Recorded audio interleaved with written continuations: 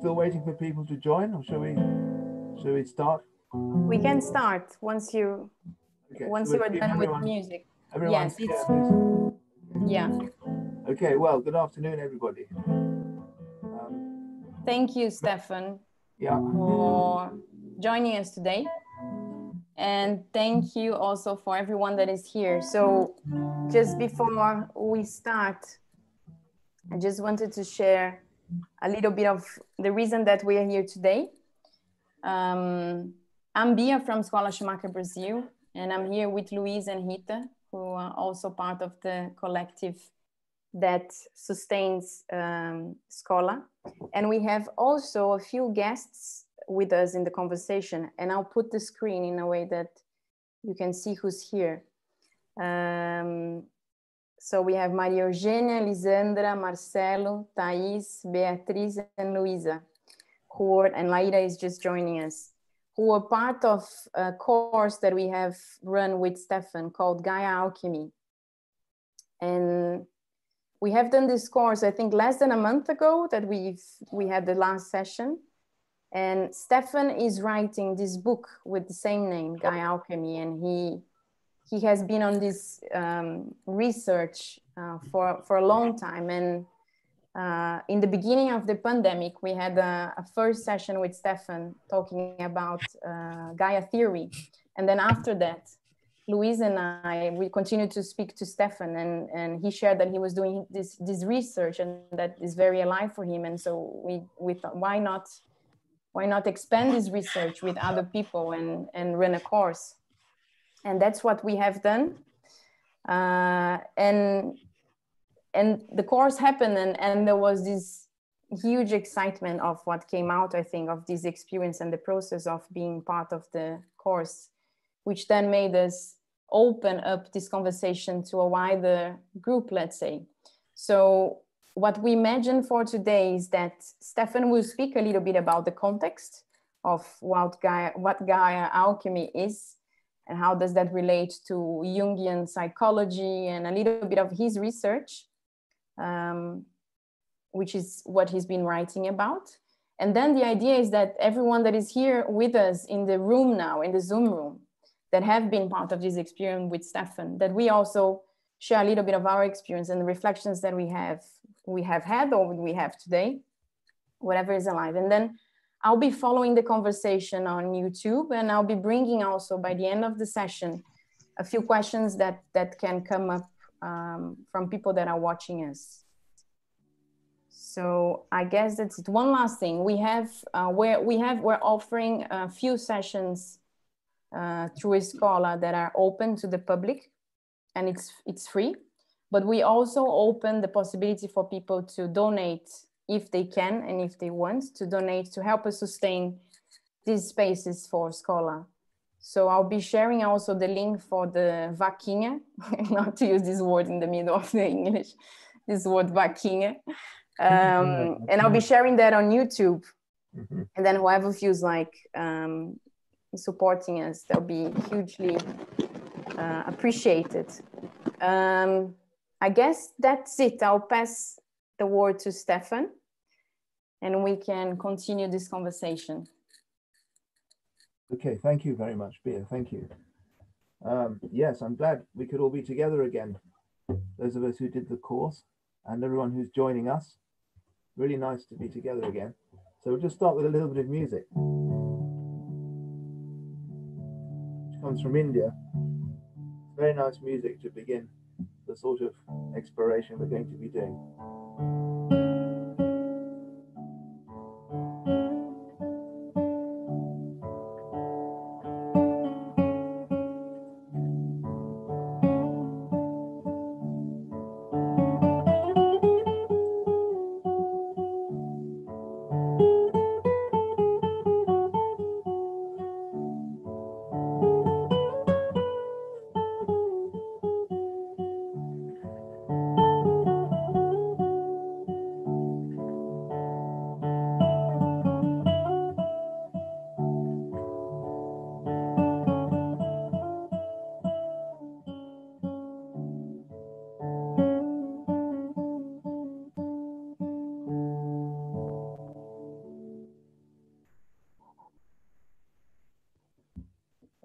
Thanks everyone. So I've got a few slides to show you. So let's see if we can, I can share my screen. Um, here we are. Okay. Can you see that everyone? Is that right, Bia? Yes, that's perfect. Yeah. Okay. Well, you know, this, this um, um, dialchemy, this is uh, an Azoth, is a star, uh, an alchemical image called the Azoth which in the course we were actually making on the ground.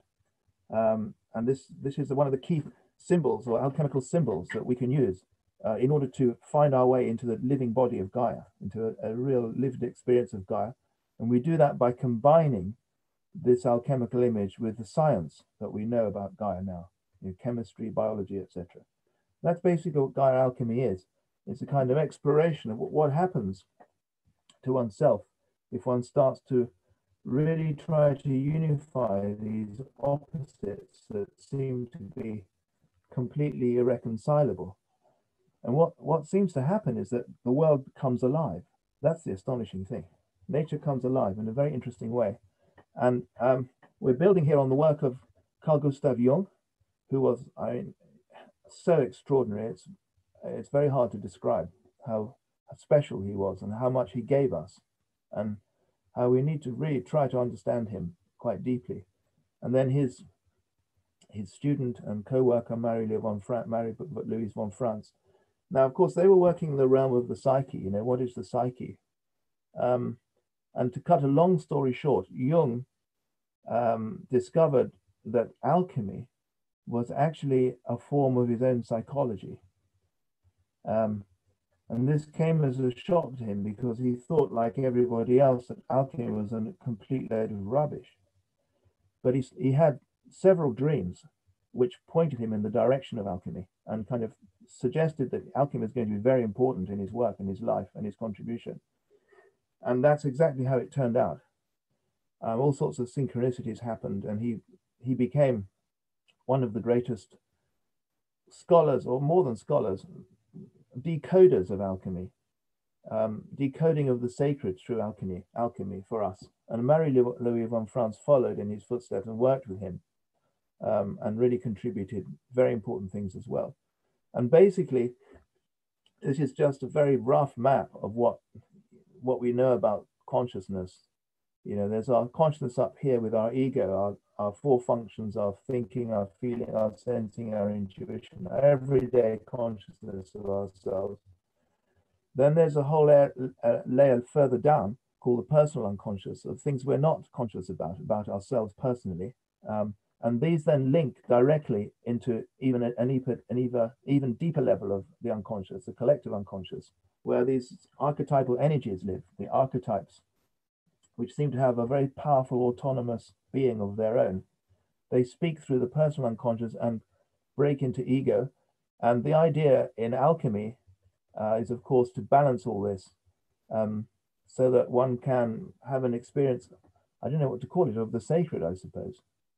And this is the same image we mentioned earlier, the Azoth, uh, the one you saw on the ground. But now um, this is the original image um, from 1659, as you can see. This is one of the key images of alchemy. Um, so what we're saying in terms of alchemy, in terms of psychology, is that if we contemplate this image we take it really seriously. We don't just think, oh, this is a load of medieval Renaissance rubbish, you know, from primitive time. No, no. We're going to take this very seriously. We're going to work under the assumption that there's something very valuable here for us personally, for everybody. So we start working with the we start, we start working with all the different aspects of the symbol, and there's a lot we can do about that. We haven't got time for that now. Just for the moment, notice how there are these seven stars. Can you see? I'm sorry about that Mickey Mouse hand. It doesn't look very good, really. A bit disrespectful to the Azoth. Anyway, so this, you see, we're just going to focus on these seven rays, not stars, sorry, seven rays of the Azoth. The rest of it will have to wait for later. So this, these are the seven key transformations that everything in nature goes through. Okay, that's this, that's what we're learning here. And, and the important thing to take on board here is that we didn't invent this, this scheme.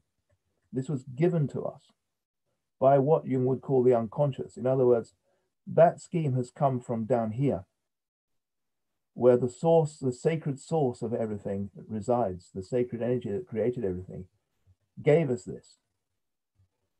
So this is in a way the sacred speaking to us in a way that we can work with and understand so that we can come to understand the sacred more. And what we need to do now is do that in relation to Gaia. The sacred is Gaia, and that's where the science comes in. Anyway, these seven processes then um, calcination, that's burning and reducing to a white ash. Okay, so um, um, the planet is a planet associated with it, Saturn, and the metal is lead. Can you see we're, we're speaking of a sort of quality, sort of quality of a process. Burning, heat, making into ash, both psychologically and also in the earth, in Gaia. This is Gaia alchemy. So we're unifying the science with the psychology. My calcination is my own difficult emotions that I have to control and things like that. Um, a complicated thing to describe. In Gaia, what's calcination? Well, we'll see. I mean, it, you can think of volcanoes and the kind of calcination. Then there's dissolution. Dissolution inv involves water dissolving. You dissolve that white ash and it relaxes and dissolves. In myself, in Gaia, where is the dissolution? Where are they both together? Then there's a separation um, where things that uh, have been dissolved start to separate and they begin to see each other and recognize each other.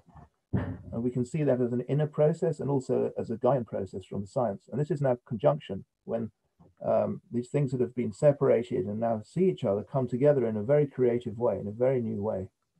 And this leads to the next ray, the fifth ray, the ray of fermentation, um, where you, you, the, what's been discovered, these new ways of being, these new possibilities in life that previous, previously were unimaginable have been discovered, and now they're refined. That some of it rots down, the earlier stuff rots down. There's a new spirit that comes out of that, and that's fermentation. And then the next one is distillation,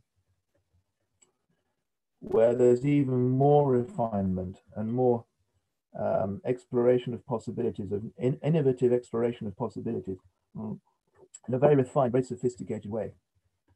And finally, we come to coagulation. Now, this one is, is very interesting um, for me because I think this one has to do with consciousness. I think coagulation involves us. I mean, we are deeply involved in all this as human beings. You know, we're not outside it. So I think perhaps we realize our role in this when we come here to coagulation. And then I have an experience of coagulating Gaia or coagulating into Gaia or coagulation within Gaia.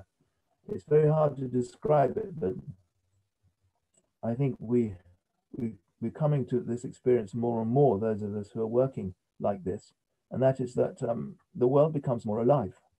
Everything becomes more meaningful and alive. Every plant, every bird, every flower, every cloud every star in the sky all becomes deeply meaningful and you and full of sacredness and you just want to devote yourself to that so much and then you go around it again. And even that view that you've just had there of that view of the divine has to be burnt up and sacrificed not yeah burnt to ash just like as happens on the planet. And we go around this way refining ourselves but also if we bring the science into this now feed the science into this Where can we see the same process in the science? In Gaia herself. Then something very, it, the world becomes even more alive. You, you start feeling a very indigenous sort of feeling. So this is just the, the summary of those, those seven processes. Calcination, fire, burning, dissolution, letting go, water. These are the planets associated with each one. So dissolution is Jupiter. Separation is Mars, identifying essences, air, you know, things separating. Conjunction, feeling, thinking, earthiness, the sun. Fermentation, inspiration, Venus. Distillation, planetary life moves to a vision of truth, Mercury. Coagulation, a rediscovery of Gaia as the Garden of Eden, that's to say, a true paradise, as she was before Western culture disturbed her. Um, okay, so um, what we just to finish, what we're going to do now is apply these seven processes to Gaia. We've more or less been applying them to ourselves. Now let's apply them to Gaia, but bearing ourselves, bringing ourselves into the relationship. We're not leaving ourselves. We're now bringing ourselves to see where are these seven processes in the history of Gaia. This is the timeline of Gaia. She's, she was born about 4.6 billion years ago. And then she's been evolving, and developing with her biosphere ever since. I mean, for 4.6 billion, 4,600 million years or so. So we're going to follow how these seven processes have, uh, can be found in this uh, amazing history of our planet. And we'll see how it relates to ourselves. This is just the same, the same human arm uh, with geological time along here, just to show you how recent we are, you know. For most of the time, we only had single cells way back and we're so recent. So it's worth bearing in mind how recent we are. Okay, let's see. Where's calcination then um, in Gaia? Well, the obvious place is here. Uh, when Gaia was first formed. This, by the way, is not the sun, that's the moon. That's the moon. Soon after, there was an impact with the molten Earth between two molten planets. Mm. In fact, this could be before the moon was formed. This could be Theia coming into crash with the Earth to form what later became Gaia, the Earth, and the moon. But can you see this is calcination, isn't it? Look, very hot, very fiery meteorites coming in, lightning. There's some serious burning up going on here. Calcination. There's another picture of it. And then, of course, today that's still going on. Here's here's plate tectonics. Here's a uh, a great slab of oceanic rock being pushed by uh, upwelling magma from deep down over here and being pushed down. And look, that rock is melting, just like the early Earth. It's a kind of rediscovery of the early Earth, and it comes up, releases carbon dioxide to the atmosphere, which is incredibly important. That's helping to regulate the Earth's temperature, Gaia's temperature, and making new rock. And There's calcination going on there. There's calcination when we have extinctions. This is um, the last 540 million years until now. And the width of this band is the number of species or families of organisms that we've had on the planet. And you can see there are these major decreases in the number of families because of mass extinctions. That's a kind of calcination, you know, when you lose so much of your biosphere, that's a kind of calcination. But every time so far, there's been a recovery. Dissolution, well, that's when the rain first started. This is the early Earth again.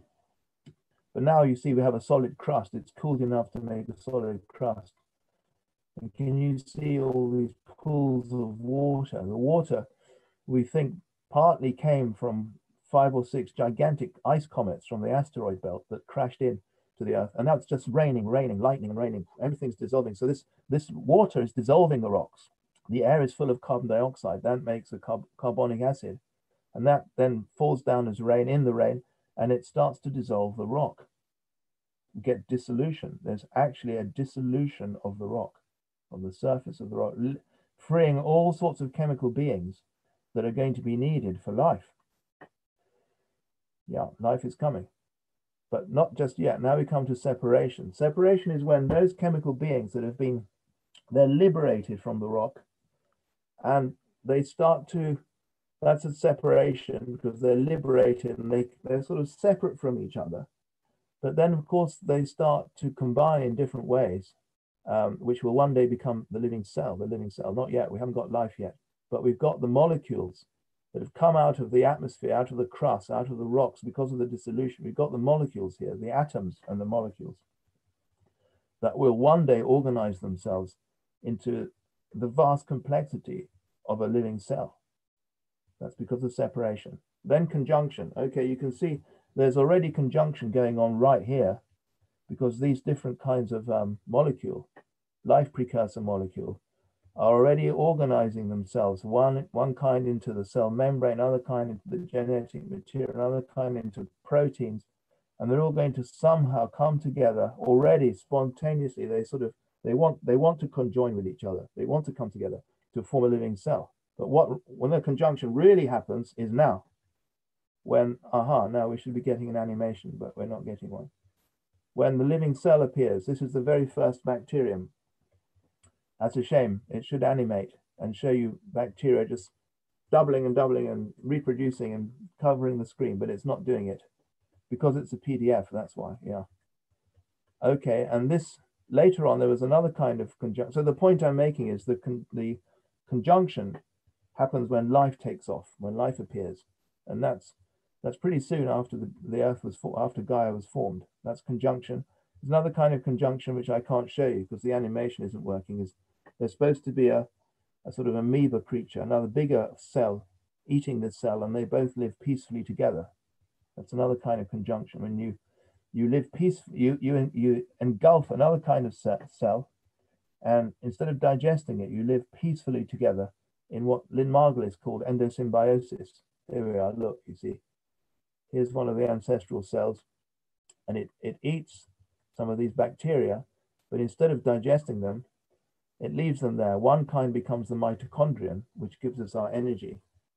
Another becomes, um, this is the mitochondria. Another one becomes the chloroplast, which can do photosynthesis. This is a, can you feel like alchemically there's a conjunction, a, um, a coming together of things that were separate. Now they come together to form a, a new whole, a new, a new being. It's like a, alchemically, it's the, it's the union of the masculine and the feminine or the yin and the yang, and you get this new possibility, which is the cell with a nucleus. And these creatures look like this. You know, this is already not a bacterium, but a, uh, one of these endosymbionts, which is what we are. All our cells are made up of this conjunction between two once separate kinds of bacteria or three kinds of separate bacteria. These are just some of these early single-celled organisms. And photosynthesis is an example of an unbelievably complex chemical conjunction amongst carbon atoms, nitrogen atoms, sulfur atoms, etc., into the vast complexity of, photosynth of the photosynthetic process. I mean, inside each chloroplast, look at this complexity. This is one little chloroplast. This used to be a once free living bacterium. And now it's, it's become so specialized, it's become a powerhouse. It even looks like a powerhouse. Lots of stacks of chemicals full of light trapping abilities that can capture the energy of the sun, the photons from the sun, and use it to split water to make oxygen and combine with carbon and hydrogen to make carbohydrates. Here's, here's the complexity. Look at this is conjunction. Look at this. This is one of the huge molecules. I mean, millions and millions of atoms in it that undertake photosynthesis. But the strange thing is, if you go right into the center of this photosystem, as it's called, photosystem two, I think it is, you go right into the center, and you find a molecule that looks like this. So this is a carbon, every junction has a carbon atom. It's like an outstretched wings. And it just struck me how, how similar to an alchemical symbol that is of the rebis. Now, you might say, oh, come on, you're going a little crazy here. I mean, it's just a coincidence. Well, yes, maybe it's just a coincidence. There's certainly no, no causal relationship between the two. But what I mean is if you start contemplating the two of them together, it's quite interesting, you know, something interesting happens. You start seeing photosynthesis in a different way. Mm. It's hard to describe. There's something full of meaning, I suppose. Fermentation. Well, this is when, of course, you start getting ecology going on Gaia, when all the organisms start forming feedback loops and complex loops of relationship like this. Um, and there's several things literally fermenting. You know, dead things fall into ocean sediments or into the bottoms of lakes, and they form mud And then bacteria come into the mud and start digesting the mud and releasing methane and carbon dioxide. That's, that's literal fermentation. But then the whole thing is fermenting itself. The whole system, the whole of Gaia is fermenting by creating more and more feedback loops amongst all these beings and all these rocks, atmosphere, water, and life, all interacting through feedbacks. And of course, we get self-regulation emerging um, from all of this as well.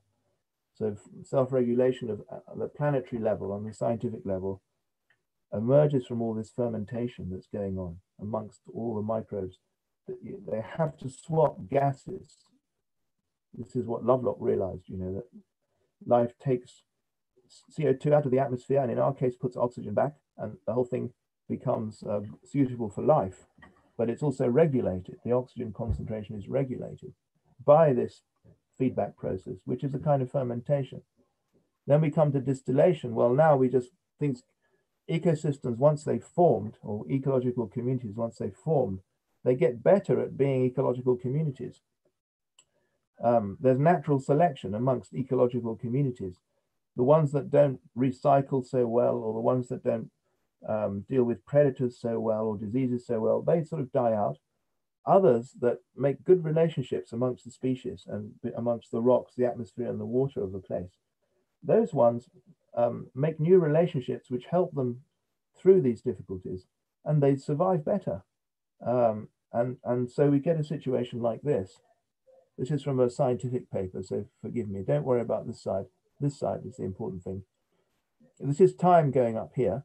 Each of these is an, eco an ecological community whose number of species are gradually going down because of you know, um, health, health problems in the system. Every time there's a start, however, there's a new innovation, a new feedback, a new exchange of information happens, and the ecosystem finds a new way to live and it continues. And then this one dies out as well. But can you see that the, this one here has had three moments of inspiration, if you like, three moments of improving the relationships, improving the functioning of the system. And it just continues and gets stronger. Whereas all these others fizzle out and we're left with only one viable ecological community. Um, now, this is revolutionary in science because this is for the first time mainstream scientists are realizing that natural selection can operate at the level of ecological communities. And that, uh, from a scientific point of view, immediately brings you into considering Gaia seriously. Because one of the problems with Gaia theory for scientists was that selfish individuals couldn't possibly lead to global level health of the planet. Finally, coagulation. Well, this is a painting by Hundertwasser, one of my favorite painters as, as I was mentioning before, I think uh, coagulation brings us humans into the picture for me. Up till now, it can be a sort of abstract, almost abstract consideration, you know. But now I'm brought into the picture with coagulation because by contemplating all of this that we've been doing, you know, up till now, um, contemplating the Azoth both in a Gaian way and in a psychological, alchemical way together, as much as we can all the way, I finally can have these moments of coagulation where, well, it, these are difficult moments to describe. It's when you feel the sacredness of the earth and you know it, and you know the sacred source of things, and you know it, and you know that you must, we must reconnect with that in our culture, or else we won't have a culture. Any culture that can't reconnect with the sacred in a healthy, wholesome, fearsome, fearful way doesn't have a future. It can't persist for very long. Think of ancient Chinese culture or ancient Indian cultures. Persisted for thousands of years. They were there in a very sophisticated way long before Western culture got going because they had a real sense of the sacred. They cultivated, they knew it. So, finally, we can live a Gaia alchemical life. This is one of Hundertwasser's actual villages that have been made somewhere in Austria, I think. You know, we can live ecologically with great imagination like this. This is living alchemically. Everyone their own individual house, their own individual way of being. but yet still in community with nature around us, beautiful fields to grow our food and roof gardens. I mean, we can live a beautiful life and a biochemical life, which will be good for us, good for Gaia. And we end up, well, this is just an alchemical symbol, you know. We end up understanding the consciousness of Gaia like a child, having gone through various processes and connected opposites within ourselves. And this is just to finish, this is Jung's mandala of wholeness, which he um, wrote and painted in his red book. An expression really of um, this state of uh, returning to the source of, of life and returning to a real lived sense of nature as alive and full of meaning. Okay, I think that's all I wanted to say there. So I'll stop sharing. Um, right. So, anyone, please, from the course, please, um, please come in. I'm sorry I spoke, I, I, don't usually do that. I don't usually just speak, blah, blah, blah. I usually stop and have some questions, but anyway, I was gripped by the flow of the thing. So anyone, please, would you like to say anything you like about what we've just been seeing? Yeah, or about, no, about your experience of the Azoth. That's the best thing. Could you say something about your own experience with on the you know with working with the Azoth, making Azoth, being together on the course since the course? What I just offered was you know just background stuff. It's more interesting to hear what's been what going with, on with you since we last met. Um, how is it? What's been happening, and how does it relate to what I said? That's better. That's the way to do it. Okay.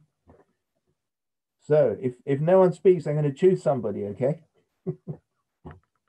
and I wonder because uh, I remember in the first sessions of the course, I think it, we went through something similar to maybe what people are listening now went through because it's whoa, it's a new world, a new language, a new repertoire of images. So it would be really nice to listen from from the participants who went through that, listened got in touch with this uh, content knowledge for the first time, how, how, how it was, as you said, to start connect to it and bring it to their own experience and how it relates to Gaia and to this more integrated sense of being Gaia.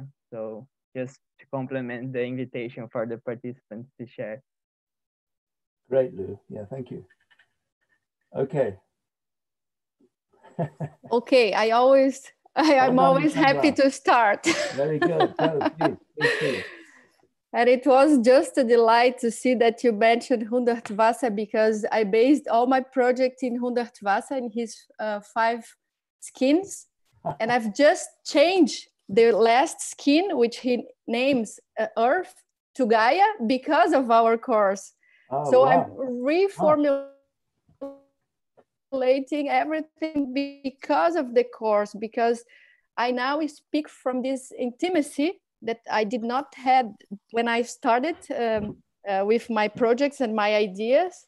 So i think um, alchemy and also linked to to jung and to the psyche and and, and, and, and even the science because i now think that science has I do not know if it was dormant in me, the science, if um, poetry was dormant in me, but somehow I, I already feel more free to speak, which is uh, I'm bringing in my inner voice uh, connected to Gaia, to, to the projects I'm working with.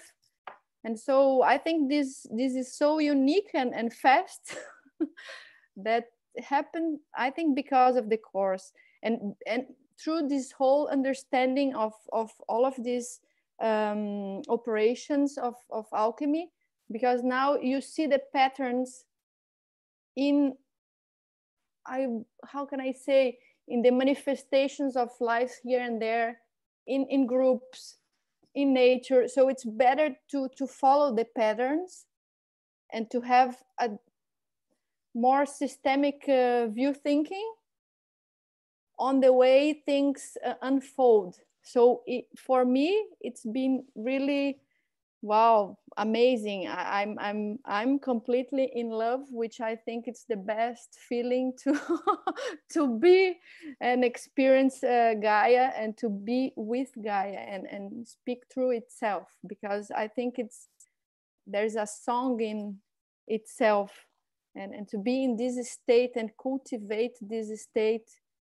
of beauty of grace i think this is what had unfolded in me and I can speak it from inside more uh, fluidly. I do not know. So it's it, it's what happening with me. Mm. Oh, that's that's really really fantastic to hear. Yeah, um, the same things happened to me. You know, I mean, um, I felt I was making discoveries. That's the incredible thing. You feel you're making discoveries that's really lovely. Anyway, thank you, Lysandra. I'm very, we're all very pleased to hear that. Anyone else, please? Anyone else like to share your own unique experience? Okay, I'm going to choose someone. I think that's my prerogative, isn't it? I have to choose someone. Okay, Maria Eugenia, would you like to say something? You can say no if you like. Uh, I can talk a little bit. Um, I think I'll pick up on what uh, Luis mentioned, which is how most people might be feeling while listening to this first presentation, that it's kind of overwhelming. And I think if we feel that for a little bit, so what's the best? I I I remember what I felt when I started uh, the course was, what is the best way to approach something so overwhelming? Not only in terms of how I was, was feeling, but also in terms of understanding what Gaia is really all about.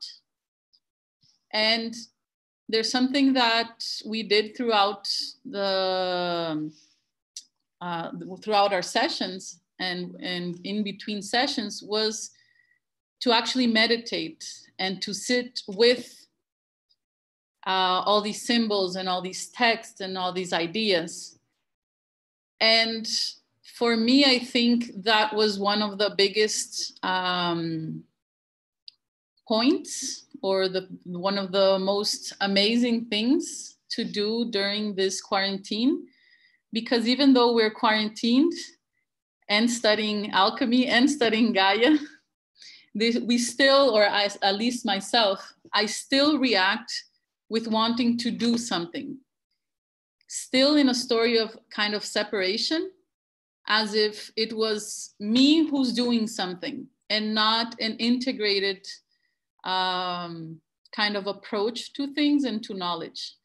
So I think this is also what Lysandra was talking about this intimacy. Um, but I guess for me, intimacy is still about two people or two, two points of views. And I've been still dwelling on this idea with, uh, you know, all my studying on how can I really look into something from a perspective that is not of, you know, not retelling the story of separation, so how can I go through the process of the Azoth and fermentation and conjunction in a way that when I get to coagulation, my conscience of what I'm studying is very integrated. So I'm still kind of figuring it out in my body how I can actually uh, get to that point where the ideas spring from a place of union and not spring from a place of separation.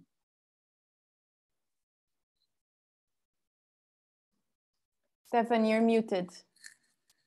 Yeah, thanks. Yeah, I did say something a little, uh, a little bit about that. In my experience, what it's almost as you have, as if you have to go into some kind of trance almost. Uh, you enter a living, a, a waking dream state, or something like that. Uh, well, well, for me anyway, or I know what's happening, but I'm also the symbols become alive, like uh, like things are in a dream. You know, it's something like that for me. That's my experience. That's when it feels very rich in my case. Mm-hmm. So let's Stephan, I have, I'm going to integrate some questions that are coming also from YouTube. And okay, please. They'll yeah. the conversation. So the first question from Vitoria, I'll try to translate them there in Portuguese. Okay. Uh, would you say that the natural selection process is distillation? Ah. And would, mm -hmm. so yeah. that's the first question. Would you like to answer that or would you like me to? Well, just let me, that's a very good question. It's, it seems to me that we can find those, those seven processes or something like those seven processes. I mean, some alchemists had 12, so there might have been 20, you know, it doesn't matter. It's seven is a nice number to work with. Um, that we can find those seven processes in, in every single aspect of nature. So if you want to say is natural selection distillation, you could say maybe at times in natural selection, distillation is emphasized, but we'll be able to find all the seven processes in natural selection if we look at it carefully, right? So you'll find calcination. Well, what's that? Okay, the extinction of a species is a kind of calcination, or maybe even a whole ecosystem disappearing. Anyway, we could go on and on, you see, like that. Mm. Mm-hmm. Yeah, and then her next question is Would you say that the current moment is coagulation? And she then adds that she would like to know more around the aspects that characterize coagulation and our current consciousness as human okay. beings. All right, well, the, the planet of coagulation is the moon. And the moon has to do with the unconscious, you know, with the side of ourselves that gives us all that inspiration, but which is very mysterious. It's not the rational side, which we're very familiar with, you know, with accounting and science in our culture. We're very much on the rational side. Coagulation has to do with the moon, with that more, um, it is feminine, you know, especially if you're a man, it's the more feminine side of myself that's more fluid, more relaxed, more open, more open to synchronicities, more open that's the coagulation. And you find when you get into that state, nature becomes very beautiful. You know, the shapes of leaves and the colors of flowers and the sounds of birds, they will start speaking to you much more because you're in a coagulated state. You know, you're more in the moon. Well, you're well balanced. You've got your, your reason is going, but it's actually the moon that's predominant, I think. You know, it's the, you could say the right hemisphere of the brain is predominating over the left hemisphere, which is how it should be. Um, so I don't know if that, that answers the, that question, does it? Yeah, keep going, ask me. Tell me if that. I'd like to right. ask the question, another question. Or be I, I think, yeah, uh, yeah, for all of us that went through the course, uh, this was very a part of what we did. Like, oh, is that thing this process? You know, is it separation? Is it and I think what we learned, and I learned, I can say for myself, is that is is is more about is this position of interpreting and looking from outside and try to ident- identify what it is with a classification. I think the answer is not much about that, and more about going through the these qualitative experiences that each process uh, reveals. So coagulation is about go, feeling embodiedly this quality of calcination. And I think this is something that really, really changed during our studies because uh, Stephan shared some meditations that we were imagining ourselves going through this process. Like, for example, the carbon going through a volcanic eruption and going through all the carbon cycle and the different moments revealing more these different qualities. Then it's it's much more about being at easy with them and and joining this this natural process not as i identify in doing but as a bit similar to what maria eugenia said not so much in the self but in a more integrative way flowing with these different qualities and joining them and uh, so I think that's a very interesting thing about the the alchemical side of it. It's about experiencing in, in a in a wholesome way, in a integrative way, not not so much in our rational way of trying to point and rationally putting categories. So it's really a study, it's a practice that we went through and have to go keep going through. Yeah, that's good. I mean, for me, Lou, uh, maybe because I'm a scientist, I had to I had to learn the various stages, you know, of processes by heart, you know, and really make myself remember them, like I do, It's like I do, say, with the, the steps in a biochemical reaction, right, Beatrice? You know, like the steps in a biochemical reaction. I had to learn those. I remember when I was at university. First is pyruvic acid, then, then this molecule happens, and you know, step by step by step. I had to really work hard to do that. So I do the same with with the Azoth but then it's like playing a musical instrument, you know. I mean, with the guitar, you have to learn your where to put your fingers. It's a very hard process to learn to put your fingers. Then once you once your body's learned that, you relax into the music. And for me, it's the same with the Azoth. I had to I had to learn it, and then I relax into it. And then what happens is what you describe. You know, it's a beautiful beautiful thing, a beautiful sense of melding and belonging to Gaia Anyone else want to say something? Uh, let's see who. Please jump in. If I may. Yes, Marcelo. Oh, yeah, yeah. Uh, you know, uh, it's easier to talk after the, the colleagues have already talked, no? well, yeah, you know, I feel like I'm still feeling, and this is continuously happening. Um, after decades, no, uh, decades at being taught to train intention, to train to calculate, to train, you know, to project things, it's very difficult and hard, you know, to exercise this uh, female part of our emotions. So this experience we, we, we had the chance to exercise was something exactly to maybe in the beginning hardly trying, you know, to get in touch with our side, let's say the, the dark side we have, not meaning that this is a, a bad side, meaning that it's a side that it's, you know, kind of not being touched, exercised. So I felt that it's a continuously, you know, uh, work on trying to know yourself completely. And then on also studying the process of for example the carbon journey uh, the Azoth uh, uh, developing process. So we feel the same way how we work how we develop. So it's a kind of uh, putting us in touch to the, the holiness that made us exist. No, something like, and if with no exercise of this day by day, I feel we are very far from this understanding. So the magic of this experience is to starting thinking about all the things that surround us, all the things that made us possible to exist, and also jump on, jump in and, uh, you know, make part of this holiness. Wow. Yeah. Marcelo, thank you very much. It's really lovely. Yeah. I, I agree. Yeah. That's what we seem to have lost in our culture is the, is the connection of holiness, sacredness. You know, people think you're mad if you talk about Stephanie, you've, you've, you've oh, muted sorry. yourself. Sorry, sorry, sorry.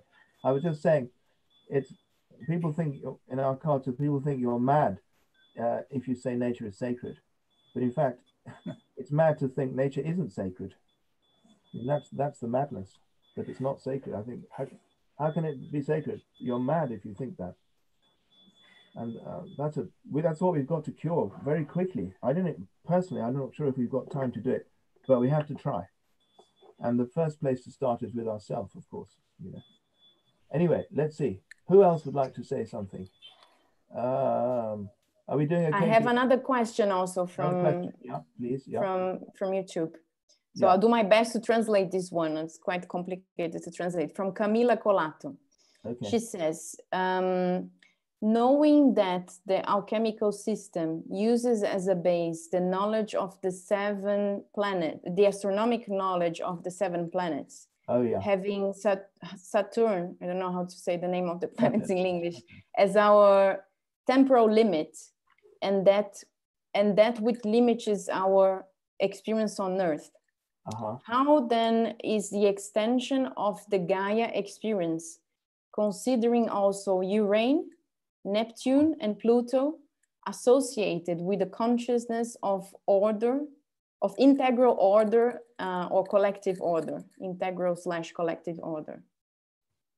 Would that, and then a final, just to add a little bit more, would that um, be a new process that Gaia initiates now on its in, on its exploration as as as well as us in this tra trajectory i see. That's interesting. See what what what the question is doing there is it's taking the planet symbolically. Did you notice? So they are they're not the actual physical planets. Well they are but we're speaking of them symbolically. That's interesting. So in other words they're pointing to qualities in ourselves and in probably in the universe when we when we say Uranus and Neptune, Pluto, you know, and are the, are are these qualities that we need to discover? Well, maybe. I mean, I don't know. You know, that's a it's an int- but the point is that's a good way to think about it. When you think about it like that, um, you're already you're already in a living cosmos. The cosmos is, is already something full of meaning.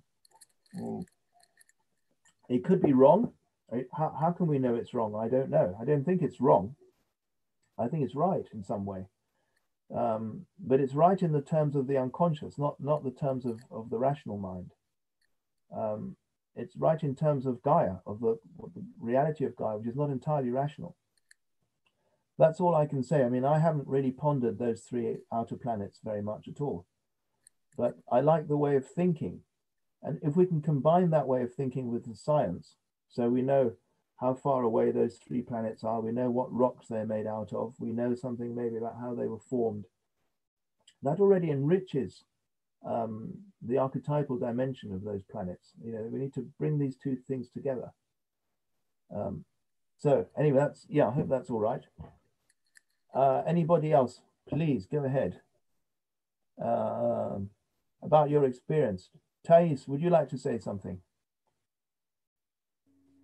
Uh, hi, Stephan. So yeah, um, my colleagues uh, told a lot of things that I'm feeling also, um, but maybe I, go, I would like to add that I'm a sensitive person, and for me it was really interesting to integrate uh, things that I didn't know that was I was feeling and dreams that the, our dreams is really are really important uh, for us, and not just in the course, but in the course they became more alive. I think we we start to process all all these um, feelings of uh, process of Gaia in in our unconscious, and it comes in our dreams. And for me, it was really interesting to see uh, that these things that I'm I read, like feeling about nature is sacred, and all these things that I had I had it before uh, putting science inside that and could really feel these feelings that I, re- I already had in the cycles, in the science, uh, in the formation of the earth, and can can understand better this these dreams, can understand better what what you're processing now in these times. Like our, our colleagues said, nothing is really separated so so it is a continuous experience. So it continues expanding once you start to look for it and practice it. Uh, you come in your life um, uh, with personal experience that you can relate with this dissolve and the formation of earth and it can can maybe make easier i don't know if easier but it can give you a different vision about things and and then you can be feel like a part uh, but a part of a, a really whole a whole not not just a part a part of things but integrating a whole that's doing uh, an important process Uh, and yeah, I just want to tell you also, Stephanie, my work that I'm, I work with education, environmental education. I was uh, talking another day with my my work colleague is doing an interview with a scientist that work with um, climate change. And he was, talk, was talking about sargassum, that is that kind of algae that uh, the process that's forming that these things are coming from the forestation, is everything integrated. And also uh, it was, now it's an innovation in this research that these algae also can capture a lot of CO2 from the atmosphere. So it's every, uh, again, so these guys are saying how you can see how the earth is really regulating itself because the same thing that's like causing this algae coming to the sea, the sea algae sea sargassum phenomenon uh, are, is also uh, capturing the CO2 and balancing again the system. So all these things, when you see and you're inside that, it's really amazing. So you, yeah, I, I think it's a continued experience. Really, thank you. oh, that's really good. Yeah yeah, it's good that you started feeling carbon dioxide going in and out, you know, of the algae like that. That's that's a real Gaian feeling. Yeah, that's really great. Really good. Stephan, uh, I have another question. Oh yeah, another question. Go ahead. Um, is there an analogy between the seven rays and our moods processes along the day? Oh yeah, I think so. I think, I mean, I know from myself, I go through all those seven uh, all the time. You know, the question is whether I'm aware of it or not. A lot of the time, I'm not aware. But when I stop, I think, oh, hmm, that's interesting. You know, I had that particular mood just the other day, hmm, or just this morning. Ah, yeah. You know, if I if I think of that as a calcination, yeah, you know what? That helps me get out of it and get into dissolution, and then go you know, into distant and coagulation, which is when you become aware. Uh, and then when you get to that point, I mean, it doesn't happen with me very often, but then suddenly the coagulation expands and you realize that you're in the middle of nature. And you, you can actually see the trees and you can see the clouds. You actually realize that they're not a backdrop, they're actually at the center of things, you know. I mean, I think that that would be the ideal way for me one day to be able to to work with Gaia alchemy. I can't not say I can do it now, but I can imagine how it would be. You know, if I could say have a bad mood, uh, calcination, oof, I see that, and then move round and then recoagulate. Um, you know, that, I think that's what it's like. I imagine all my fantasy of how I would like to be, but I'm nowhere near it, of course. So anyway, um, let's see who haven't Beatrice, as a scientist, can you tell us something? um, about your experience. Hi, Stephan. Hi, all. I think my experience was quite similar to Marcelo, actually. I think we have a very similar process. But what I felt more in me was the need to connect to myself because I was always thinking about the outer picture and about Gaia and about the processes, and I was forgetting that I'm still a part of it. And uh-huh.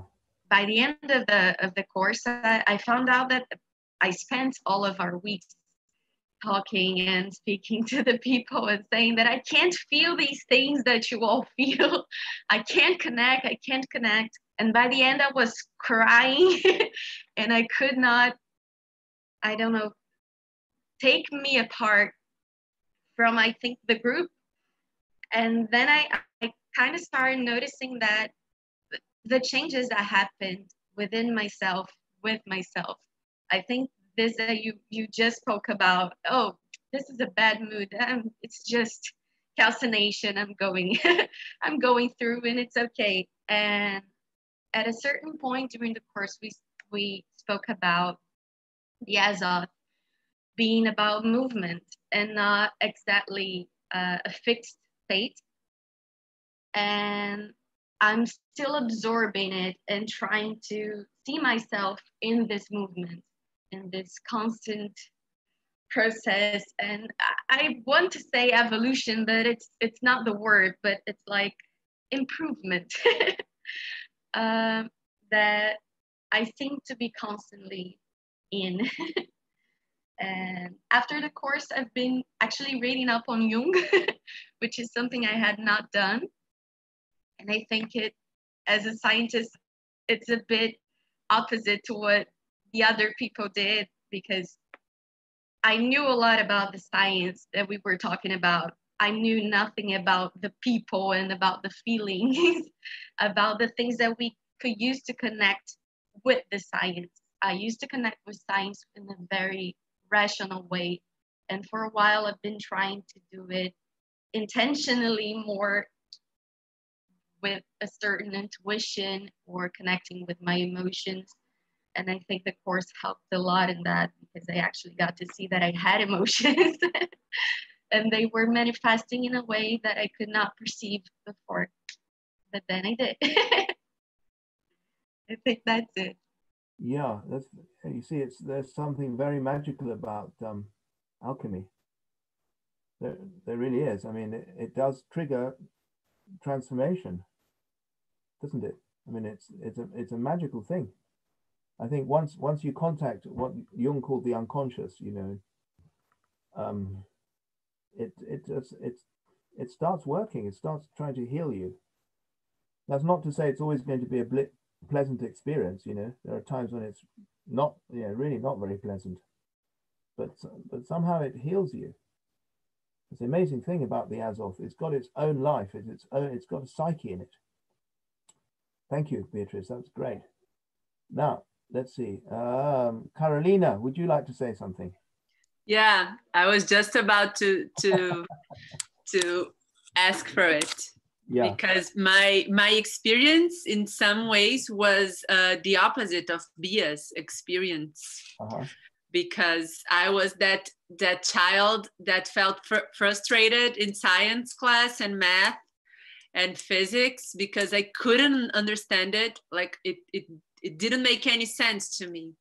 So in our first class, I felt frustrated because it was like, I won't be able to understand the science part of it. Oh my God, what am I doing here? This course isn't for me, and all of that. Um, and then uh, we split, split into groups, into uh, groups of two.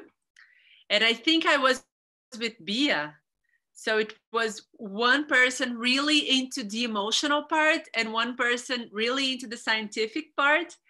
And it was the perfect match, like right in the first class. And uh, then I, I realized there's there's some magic going on here because she was able to help me with the science part and I was able to help her with the more subjective part. And from then, um, um, I realized, I started realizing that I can feel science. It's not about understanding from your brain, but it's logical in the sense that it's here, it's everywhere. So when I'm planting now, I can relate to science because it's it's practical. It's like every day in the things I touch and also in the things I feel.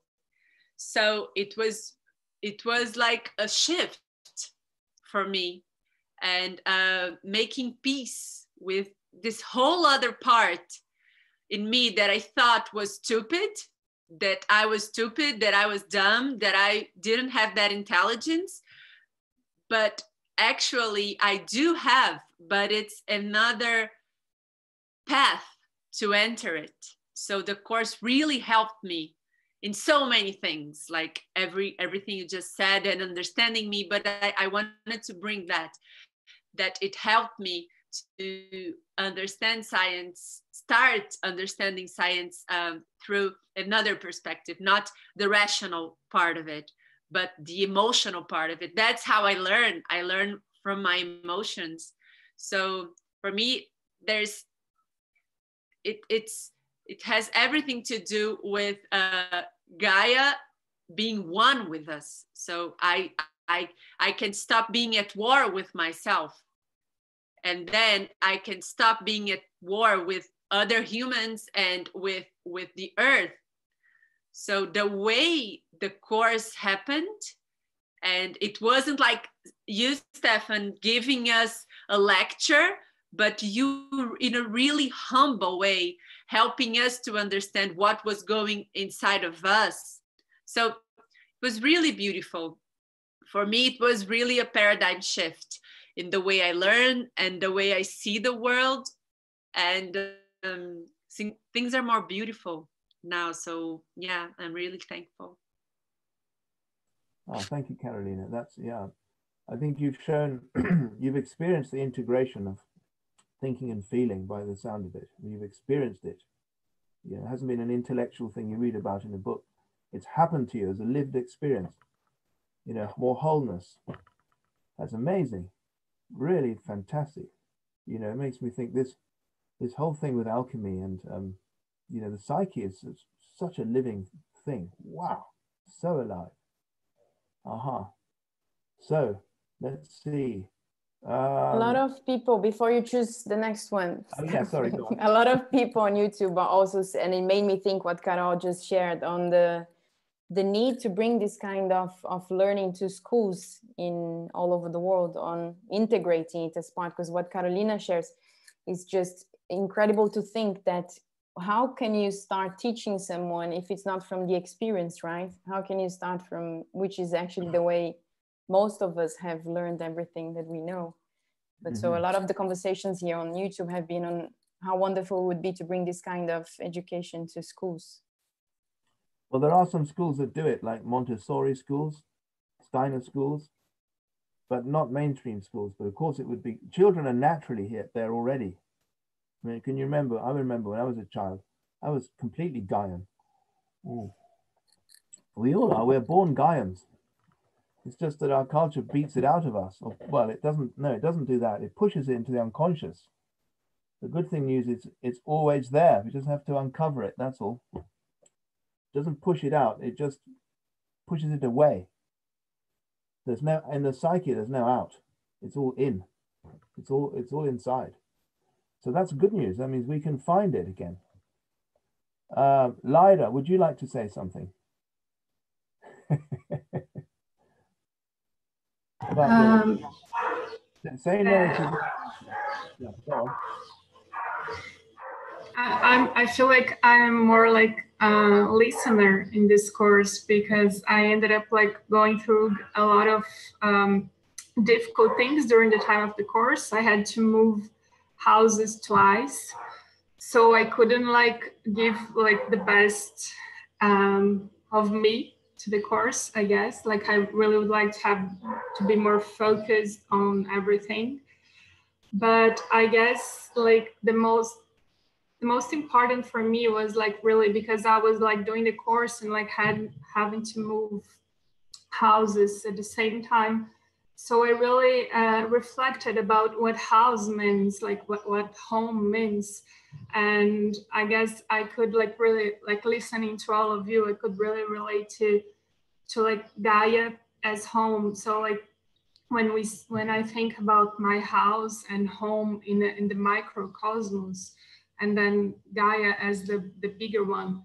Uh, how important it is like to to listen and to do a course like that and to to exchange out what we did and to really realize Gaia as home and how we are taking care of it and how we take care of our homes of like inside of us of our bodies and our minds and everything and our inner universe that what is what one of the things that we really uh, connected in the course and how we are like relating with Gaia in the in the the bigger way, like how we are taking care of it, how we are what we are doing with it, like as human beings, as as persons that are inhabiting it. So I think the most important for me of like doing this course during this time of my life, which was like which was and it's really it's still being like really challenging was really that like to to think about gaia as home and how am I relating with that and how we are everyone relating with that and how we can do it better. So yeah, it was really, really great, really beautiful.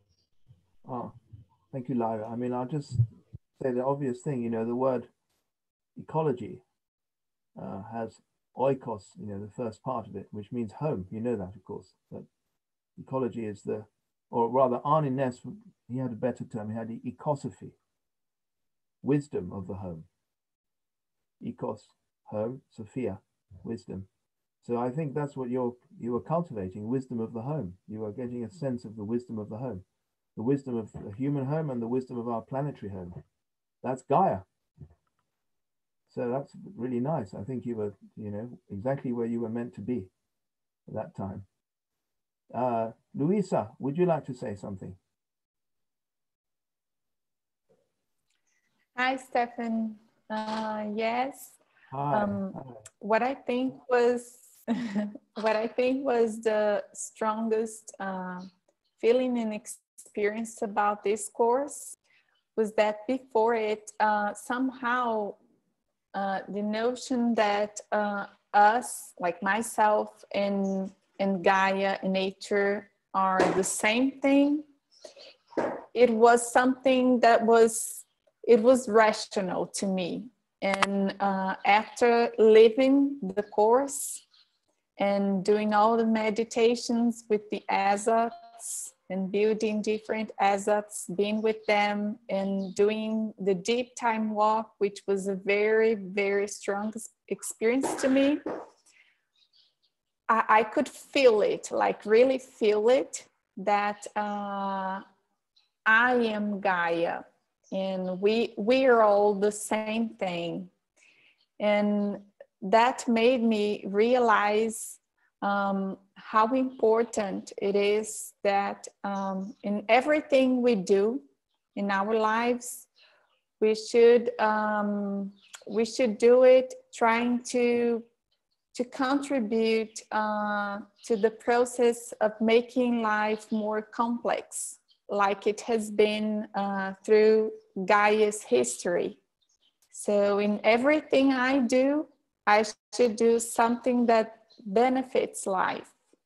And, and this was uh, very strong to me in a very rich experience. And also realizing and feeling uh, time relativity. And, and this was also a gift from the course. So I think those are um, the most important experiences I had here with you. Mm, thank you. Yeah, I think the time is very, very important to connect with, isn't it? The depth of time, how how ancient the Earth is, how ancient Gaia is, and what she's been through in all that time. An incredible story. Um, if Gaia were a human being, you know, you'd want to make a film about her for sure such an interesting, interesting life she's had.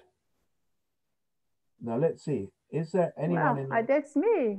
Rita, yes, there you Only me. Rita, yes. Oh, I, I have no, no more things to add. Uh, I love it to listen to everybody. Each one has a different experience.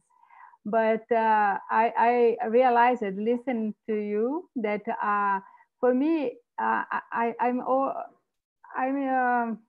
I like science and to study science, and also I like uh, uh, sensible approaches of uh, understanding the world.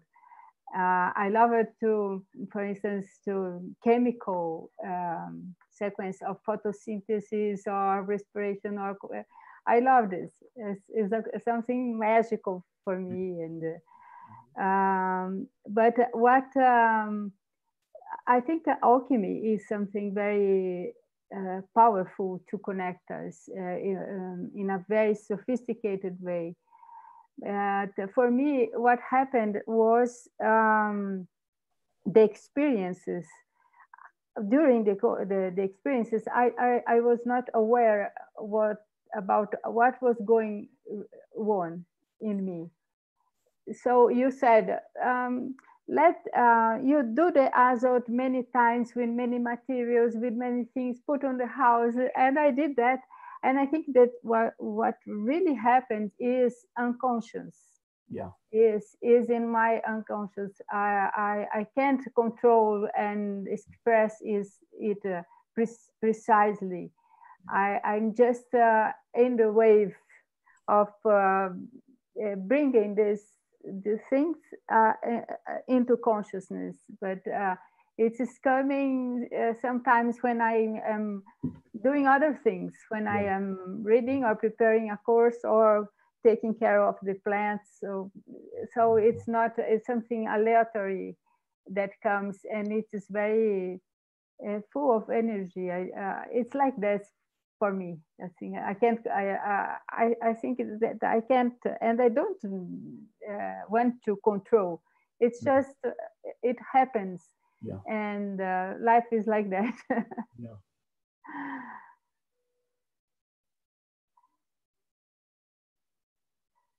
you're muted stephan i thought i was there i take the as off.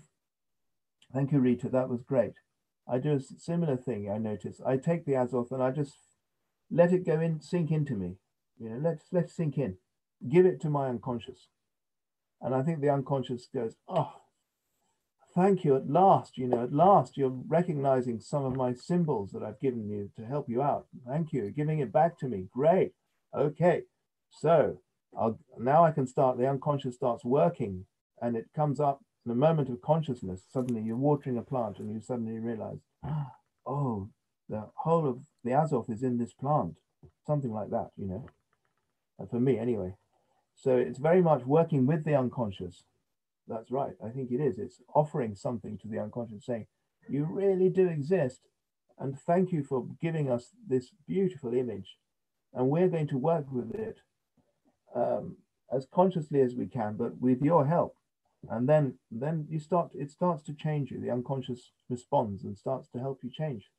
It's a remarkable thing. Jung discovered this. Uh, anyway, so um, Stephan, I have I have a question to you then. Yes, please. Yeah. But before we before I ask you the question, I just want to say a few things um, that I really want to make sure that that people that are watching us that they hear before before they leave.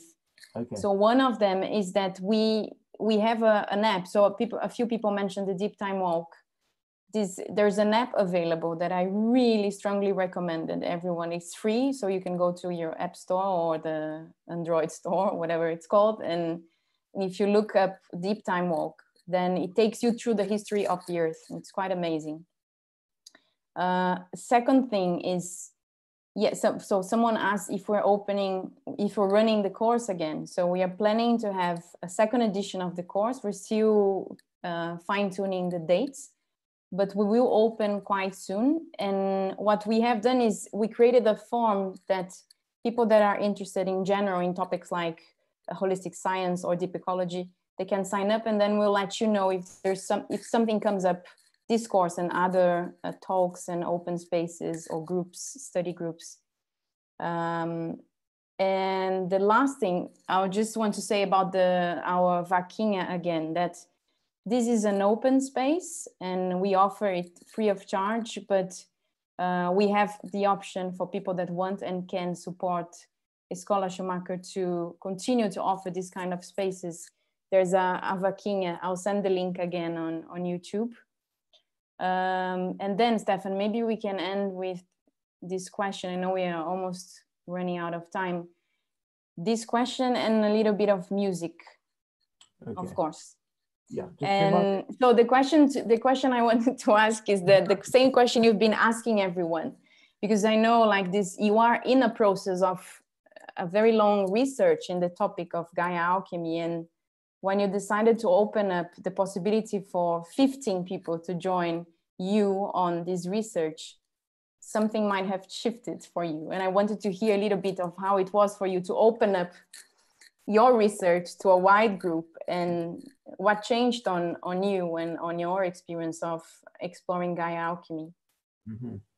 Well, there's so many things to say. One thing is, I felt when I was making my Azoths on the ground, you know, in my jungle here, on the soil, on the earth, I felt everyone else doing the same in Brazil.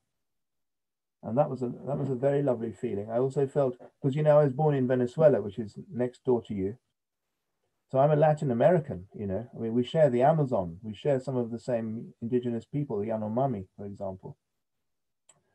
So for me personally, it connected me very beautifully back with Latin America, you know, where I was born and where I, which I love. Um, and but also I just loved it, feeling that that how it was working for all of us.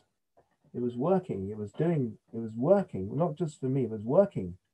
Therefore, maybe the biggest thing I've taken is that there's an, there's an objective validity in the Azoth, in working the Azoth like this with Gaia in Gaia alchemy. There's something of objectively valid,